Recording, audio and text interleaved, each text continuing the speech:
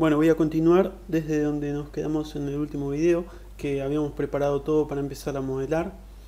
Así que voy a cargar el archivo en File. Acá están todos los archivos recientes y voy a elegir el último en el cual estuve trabajando. Vemos que en principio no pasa nada, pero acá arriba aparece el nombre de referencias.zip. O sea que el archivo ya está cargado. El tema es que necesitamos cambiar la vista, puesto que en la vista perspectiva no tenemos nada. Vamos a alternar con la barra espaciadora a las cuatro vistas. Que yo no les mostré cómo cambiar el layout o la distribución, pero es muy sencillo. Simplemente tienen que ir a Display, acá eligen View por Layout y tenemos distintos tipos de distribuciones para las, las vistas. Por ejemplo, tenemos horizontal split, donde tenemos una línea horizontal con dos vistas de cámaras. Podemos ir jugando con estos, con estos tipos de vistas. El que les había mostrado ayer creo que era este, de tres vistas.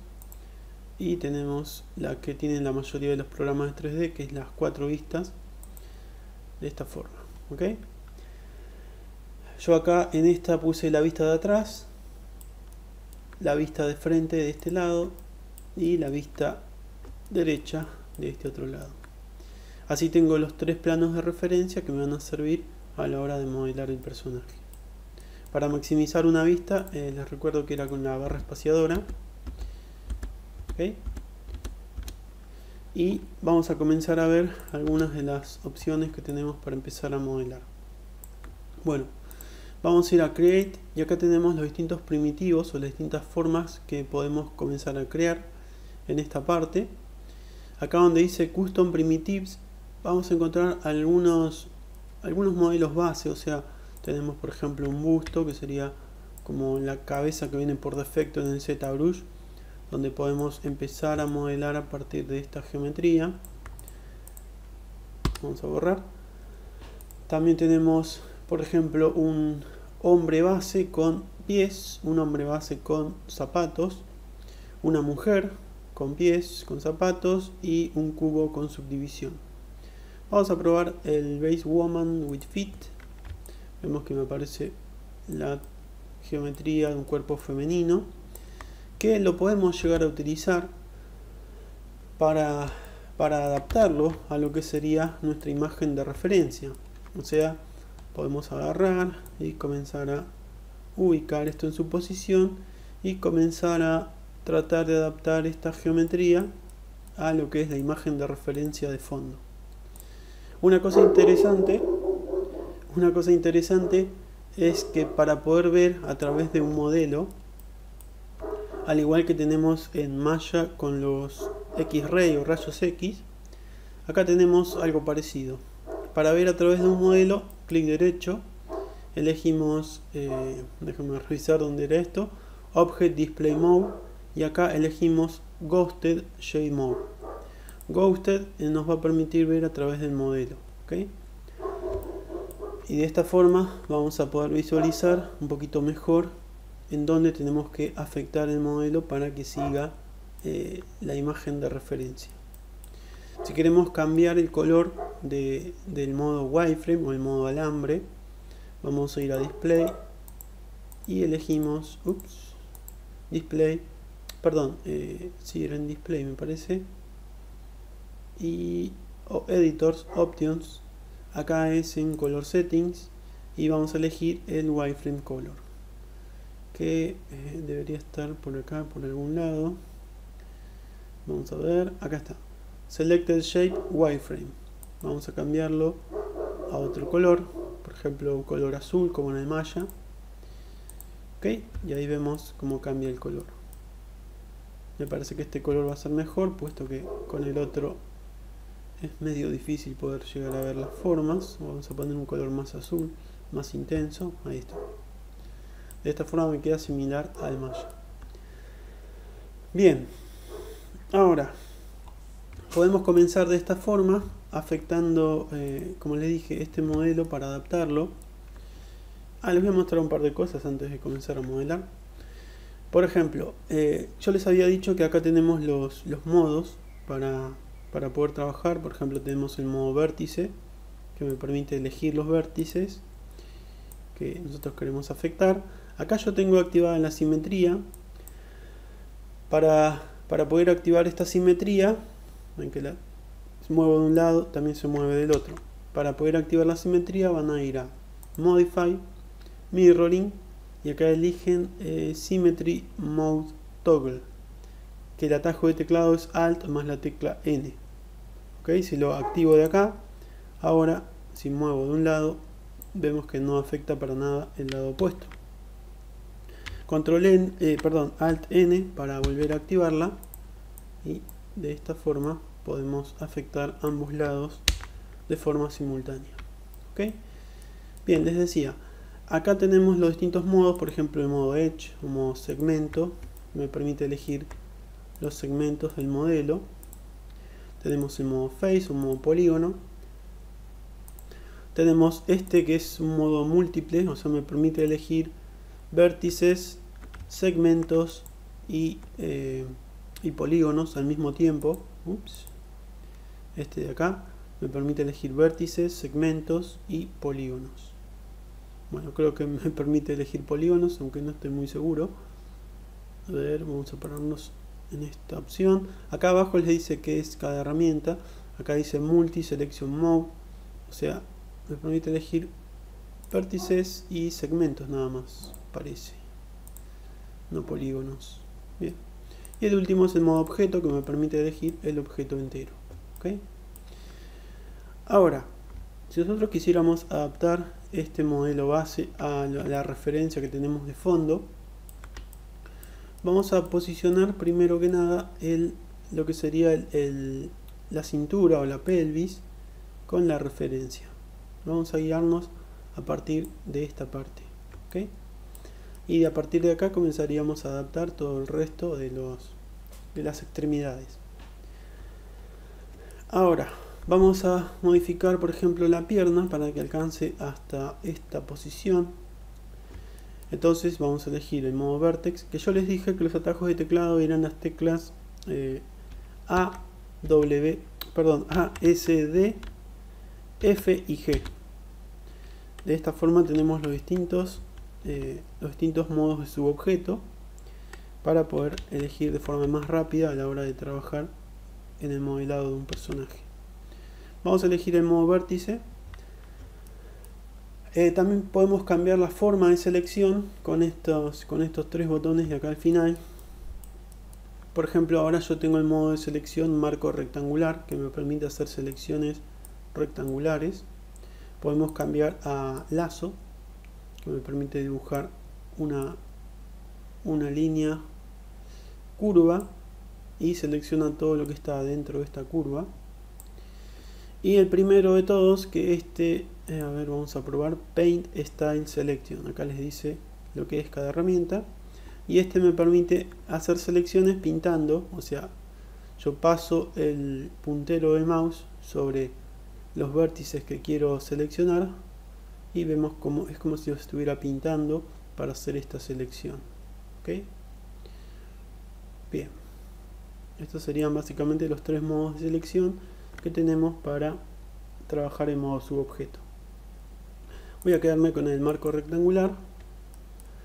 Eh, otra cosa interesante que les había mostrado, eh, creo que, el otro día, el último video que vimos sobre el silo, era cómo seleccionar los, los vértices de atrás. Bueno, acá yo estoy en modo Ghost, que me permite seleccionar tanto los, los vértices de adelante como el de atrás. Ven que me selecciona ambos ya sea que estén detrás del objeto o los que están al frente. Pero si cambiamos el modo de selección, el modo de visualización, vamos a elegir Smooth Shade. Si yo elijo ahora toda la parte del frente, vamos a ver que la parte de atrás no se selecciona. Bueno, yo les había dicho que para seleccionar también la parte de atrás, lo que tienen que hacer es hacer una selección, pero con el botón del medio del mouse de esta forma también se va a seleccionar la parte de atrás bueno entonces vamos a ir a la vista de frente vamos a seleccionar todos los vértices de acá de la pierna vamos a elegir el modo vértice, vamos a elegir esta vez el modo de selección por lazo y vamos a elegir toda esta parte. ¿Ok? Bien. Acá hay un pequeño problema, que me olvidé de elegir toda la parte de atrás. Vamos a hacerlo de nuevo, esta vez con el botón del medio del mouse. Yo la verdad no, no utilicé casi nunca este programa para modelar, así que puede haber algunos problemas. Eh, pero igual los veremos. Estamos aprendiendo, así que esto nos va a servir para, para comprender mejor este programa. Bien, tengo todo seleccionado. Ahora hay una herramienta bastante útil en el Maya que nos permite cambiar el punto pivot de una selección. En el Maya es presionando la tecla D, nos permite cambiar el punto pivot de la selección para escalar o para mover o para rotar un conjunto de vértices, polígonos o segmentos.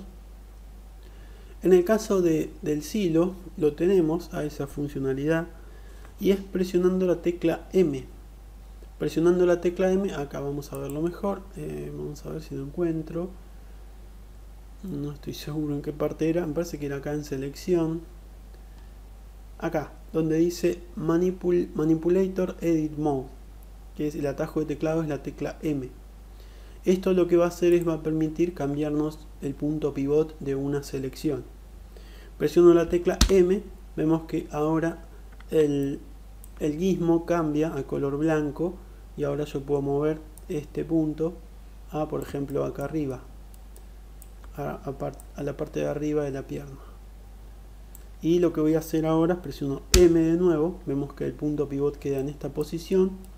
Vamos a elegir la herramienta de escala y vamos a escalar a partir de ese punto pivot. Vemos que ahora esta parte queda fija y se escala hacia abajo vamos a escalar hacia abajo. Vamos a guiarnos esta vez eh, con esta imagen de referencia donde donde el zapato está prácticamente a nivel de este de esta línea. Y de esta forma podemos comenzar a afectar a este personaje para adaptarlo a lo que es la imagen de referencia algo parecido podemos hacer con los brazos. Vamos a elegir eh, esta vez vamos a elegir toda esta parte del brazo. Vamos a agarrar un poquito más. Por ejemplo hasta acá. Todo este brazo. Vamos a cambiar el punto pivot con la tecla M. Posicionamos. Ah, acá tenemos que cambiar a, a lo que sería la herramienta de mover puesto que si no no nos va a permitir mover este, este pivot. Cambiamos a mover posiciono en esta parte presiono la tecla M y ahora voy a hacer una rotación. Rotamos el brazo y vamos a elegir mover también. Vamos a moverlo hasta esta posición. Acá quizá antes de hacer esta parte me convenga afectar el resto del, modelo. Una cosa interesante que tiene el, este programa es que nos permite trabajar con, con lo que sería pinceles, al, al, igual que tenemos ahora en el Maya, que tenemos toda la parte de herramientas de esculpido digital. Eh, bueno, esto sería algo parecido también, eh, que es similar al ZBrush, no, no tiene tantas opciones como el ZBrush, pero también es algo parecido. La forma de trabajar con estas herramientas, con estos pinceles, sería utilizar la herramienta Paint Displacement. Van a ver que al elegir esta opción desaparece un, un círculo. Bueno, este círculo sería el tamaño del pincel. Y podemos comenzar a afectar a nuestro modelo. Por ejemplo, podemos agarrar y comenzar a estirar este, este este modelo. Hay distintas formas de afectar al modelo utilizando este Paint Displacement. Para ver todas las, todas las variantes vamos a elegir Editors barra Options y elegimos Brush Editor. ¿ok? Vamos a ver que acá tenemos todas las opciones que podemos eh, utilizar para modificar nuestro personaje. El que tengo seleccionado ahora es el push, que sería la forma común de afectar a, un modelo en el ZBrush, por ejemplo, que lo que hace es levanta, levanta la, la geometría que esté por debajo del pincel. Tenemos acá el pincel de Smooth, de Move, de Flatten para aplanar, Smooth, Pinch y Sharp Push. Bueno, los más comunes son el Move, el push y el smooth. Estos son los que yo suelo utilizar más frecuentemente, incluso en ZBrush. Son los que suelo utilizar mucho. Vamos a elegir, por ejemplo, en este caso el move para mover. Acá eh, vamos a entrar de nuevo en el Paint Displacement. Elegí el pincel de mover y ahora puedo afectar moviendo toda esta parte. Si queremos aumentar o reducir el tamaño del pincel, botón del medio del mouse y me muevo a izquierda y derecha. Esto es parecido a, me parece que el 3D Code también se maneja de esta forma. Y si quiero mover, eh, si quiero modificar la fuerza o la intensidad del pincel, botón del medio del mouse arriba y hacia abajo. Van a ver que en el medio les aparecen unos números, que eso indica la fuerza del pincel con lo cual podemos modificar de forma rápida estos, estos valores y podemos darle la forma que nosotros queremos vamos a ir acomodando esto lo mejor que podamos. Acá podemos cambiar el pincel smooth para suavizar algunas partes que no hayan quedado bien.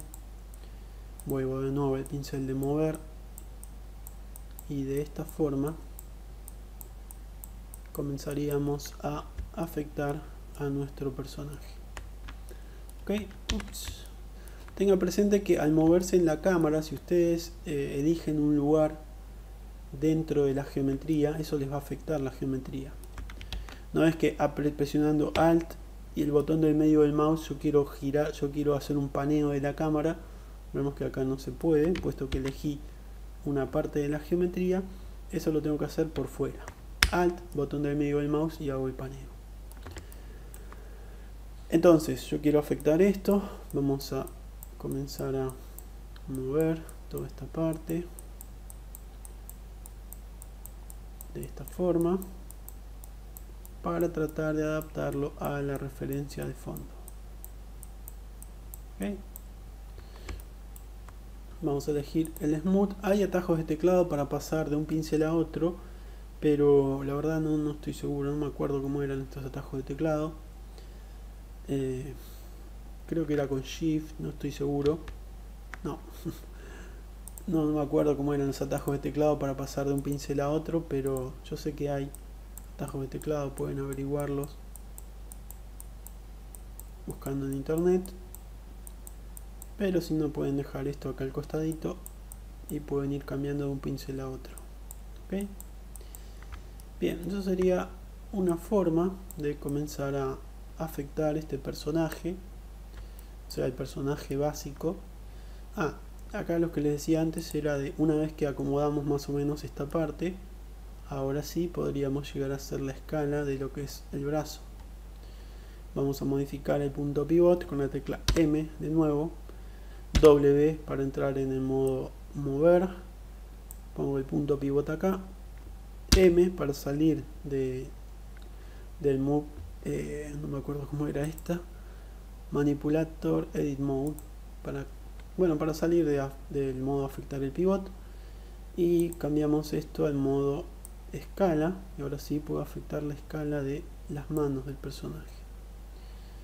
Vamos a elegir la herramienta de rotación para girar esto un poco hacia afuera acá van a ver que tenemos eh, esta parte. Van a ver que ahora ahora voy a hacer una rotación exagerada. Ven que ahora esto está en coordenadas locales o sea la rotación está en coordenadas locales. Si queremos volver, volver a las coordenadas globales tenemos que eh, hacer clic. Me parece que era hacer clic de nuevo no estoy seguro. A ver vamos a cambiar esto. Y acá vuelvo a este vemos que el punto pivot ahora se cambió a, donde estaba originalmente pero ahora vuelvo a las coordenadas globales. Entonces ahora puedo volver a modificar esto a esta posición. Presiono la tecla M y ahora tengo la escala pero en modo global. Vamos a elegir la rotación de nuevo vamos a cambiar esto por ejemplo esta posición. Vamos a probar. Acá tengo escala, escala local lo que sería la escala local. Y eh, si salgo por ejemplo salgo de esta selección ahora tengo escala global. Es medio complicado esto. Si no pueden, pueden fijarse en modify me parece que estaba acá tenemos atajos de teclado para eh, para lo que sería eh, traslación local o movimiento local y escala local con control E. Bien, esto sería una forma de comenzar a modelar el personaje que, que puede llegar a ser útil en el caso de que no quieran empezar de cero. Tienen estos, estos primitivos de personajes para empezar a modelar. Vamos a borrar esto. La otra forma es partiendo de primitivos básicos, por ejemplo cubos, un cubo, y comenzar a hacer extrusiones. Voy a ir a la vista perspectiva y vamos a ver dónde está el cubo. Ah, si queremos centrar la vista en un, en un objeto, lo que hacemos es eh, ir a Modify y me parece que estaba por acá para centrar la vista en el objeto o en selección, no estoy seguro. Eh, déjame revisar. Frame selection control F. Lo que hace es em, o sea posiciona la vista de cámara sobre el objeto que tengo seleccionado. Control F y ahí vemos que me aparece eh, me aparece el objeto en todas las vistas acá hay distintas formas por ejemplo frame selection focus selection alt F tenemos para ocultar, para ocultar selecciones, para mostrar todo, o sea, cosas muy parecidas al Maya. Eh, pero bueno, esto lo iremos viendo sobre la marcha. Vamos a borrar este cubo, vamos a ver qué otra cosa tenemos por acá. Tenemos un cilindro común y corriente. Vemos que tenemos nuestro cilindro. Vamos a dejarnos en la vista perspectiva únicamente.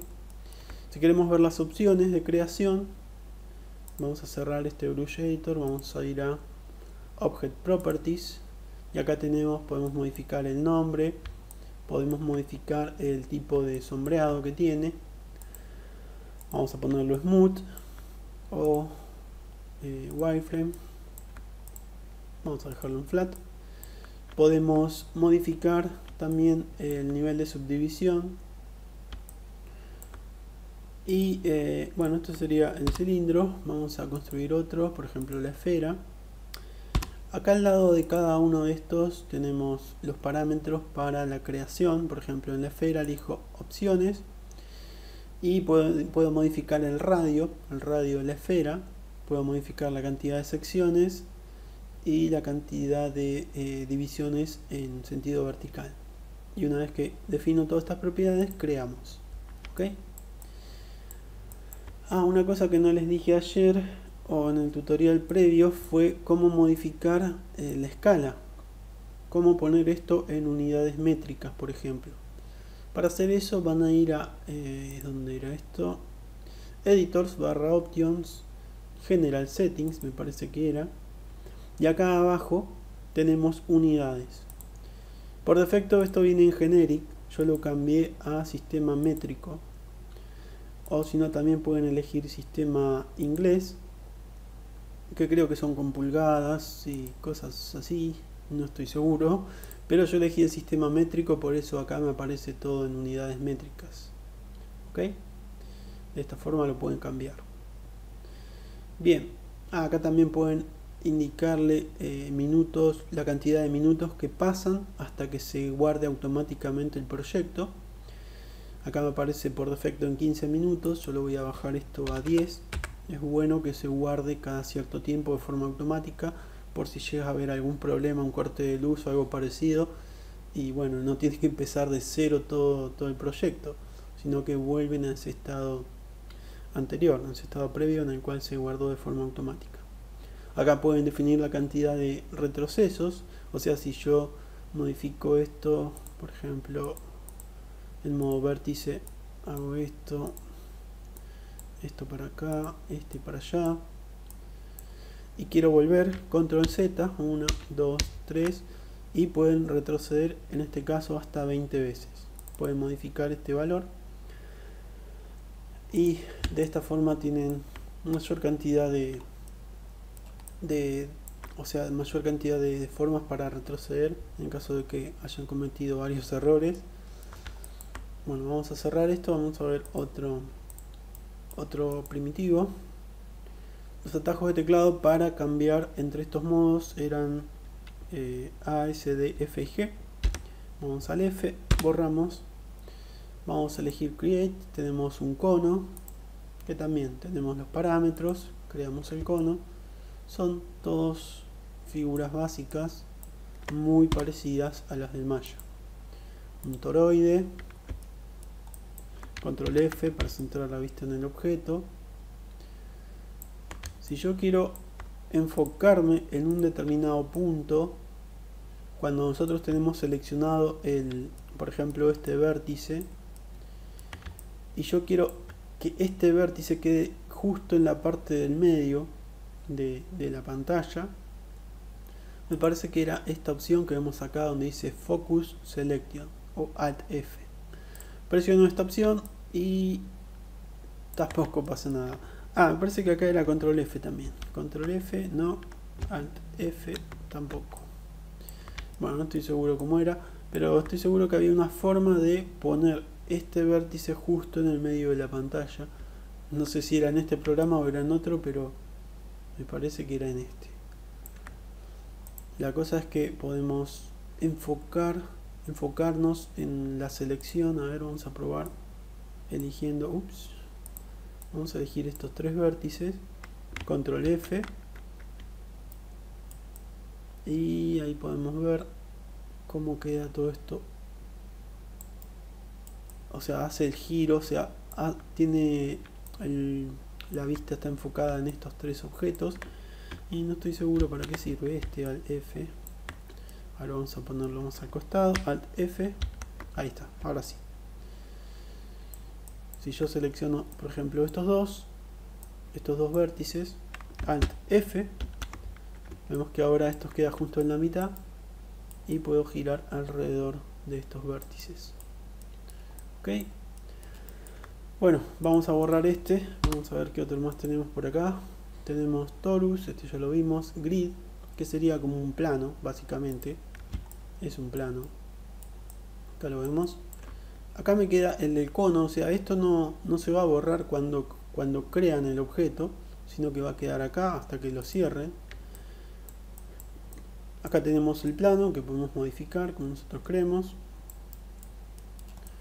vamos a borrar este plano vamos a ir a crear un círculo que esto sería como una especie de spline spline para para construir otro tipo de objetos. Borramos y arco arco también sería como un bueno en este caso el arco es como una hélice en el 3 Studio Max esto se llama hélice. Y y nos va a permitir por ejemplo hacer extrusiones a lo largo de este de esta trayectoria cosas parecidas. Estos serían básicamente los los primitivos que tenemos para, para comenzar a modelar en el silo. Acá tenemos late. Por ejemplo el late en el 3 Studio Max es rotación alrededor o sea dibujamos un spline y hacemos una rotación alrededor de un eje para construir otro objeto. Esto sería late. Eh, extrusión de objetos. Esto no estoy seguro qué era. Por el nombre, me parece que es el modificador shell del 3 Studio Max, pero la verdad no tengo idea. Acá está lo que les decía antes, extrusión eh, de un objeto a lo largo de un camino, que era hacer una extrusión a lo largo de un, de un spline. Y hay distintas, distintas otras opciones más, por ejemplo array, que serían como matrices de objetos. Duplicar objetos con control D, esto es parecido al, al Maya creo que es, que utiliza el control D para duplicar. Combinar objetos, que sería el merge o attach en 3 Studio Max. Instancias y bueno, y de instancias, o sea, para, para que en lugar de, de que dos objetos sean instanciados, modificando uno se modifique el otro, con esta opción rompemos la instancia, digamos. Cada uno sea un objeto independiente. Bueno, eso serían más, más o menos las, lo básico a la hora de empezar a construir un modelo. Vemos todo lo que son los primitivos que tenemos de este lado. Las herramientas las voy a mostrar en otro video, puesto que esto ya se está poniendo bastante largo y todavía ni empecé a modelar. Pero bueno, espero que les sea de alguna utilidad todo esto. Eh, y ya el próximo tutorial vamos a empezar a, a modelar nuestro personaje, pero no lo vamos a modelar utilizando estos primitivos eh, estos primitivos que vienen por defecto, sino vamos a partir de cero, con un cubo y comenzando a hacer extrusiones, y como lo hacemos siempre en el Maya o en el 3 Studio Max. ¿ok? Bueno, ahora sí, termino este video, espero que les sea de alguna utilidad y nos veremos en el siguiente.